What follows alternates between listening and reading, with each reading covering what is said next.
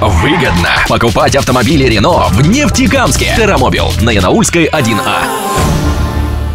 На излете первого большинства Тароса Глеб Кузьмин подобрал отскочившую шайбу использовал момент, сделав его стопроцентно голевым. Это произошло на четвертой минуте встречи. Рязань сумела отыграться до конца первого периода, перейдя в стремительную контратаку практически два в одного и поразив ворота Тароса. Но это единственный успех, которого удалось добиться хозяевам льда. Даниил Тарасов отражал все броски Рязани. Молодой вратарь недавно защищал ворота сборной России на молодежной суперсерии в Канаде, откуда наша команда вернулась с победой победой. Ну а Тарос забросил еще три безответные шайбы. Под занавес второго периода нефтекамцы устроили пожар на пятаке Рязани, и Илья Баранов увеличил отрыв в счете. Автором третьей шайбы стал Николай Чебыкин, умело распорядившийся передачей Александра Панкова. А за пять минут до финальной сирены Рязани вновь оказалась в меньшинстве, и Тарос реализовал преимущество в одного игрока. Победную точку поставил Артем Чернов.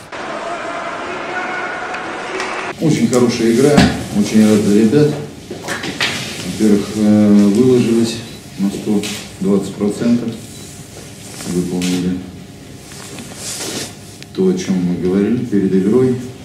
Это действительно командная победа, поэтому рад двойнить за ребят.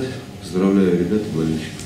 В четырех выездных матчах Таро содержал три победы. Сейчас он находится на десятом месте турнирной таблицы. Следующая игра пройдет на домашнем льду 23 ноября с командой «Горняк».